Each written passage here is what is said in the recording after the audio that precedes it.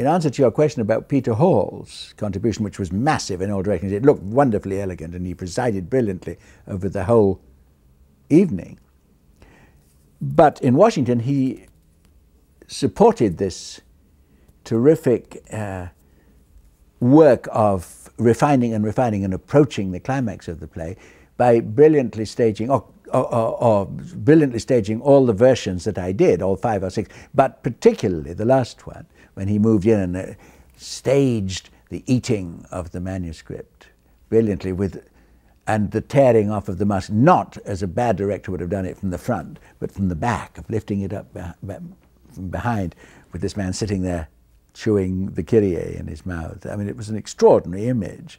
And Peter can be relied on to find a great image many times, and he did in that. There were many striking images. I loved all the projections in it, the most beautiful projections of the Prater and the Masonic Lodge, just an emblem hung above the stage. It, it, all looked so beautiful. I loved the idea of an ice blue plastic set, but it was plastic that just shone, so you could see the reflections of the actors, those gilded, encrusted courtiers, moving about on the stage, and you saw their reflections underneath like figures in a great frozen pond. It was marvelous. I loved it. I loved the look of it. I loved the fact that uh, a candle was lit at the very beginning of the play and burnt all the evening on the uh, clavier in the corner, the instrument in the corner, just guttering away during the, uh, the, the, death of Mozart, just going out uh, at the end of that. And then in, in the ensuing black mood and black light of the play, Salieri coming forward and saying, I was born a pair of ears and nothing else,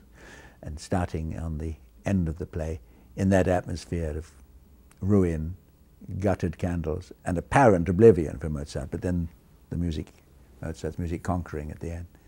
You ended with the last four chords of the Masonic funeral music. And Peter saw very clearly the same vision and physicalized it and made it work. He's the most patient and the most admirable and imaginative and calm of directors. He's not, I'm sure, calm inside. I'm sure he's a furnace of creativity, but he has, in his long and creative life, discovered the most wonderful calm in, the, in, an, in, in a rehearsal situation.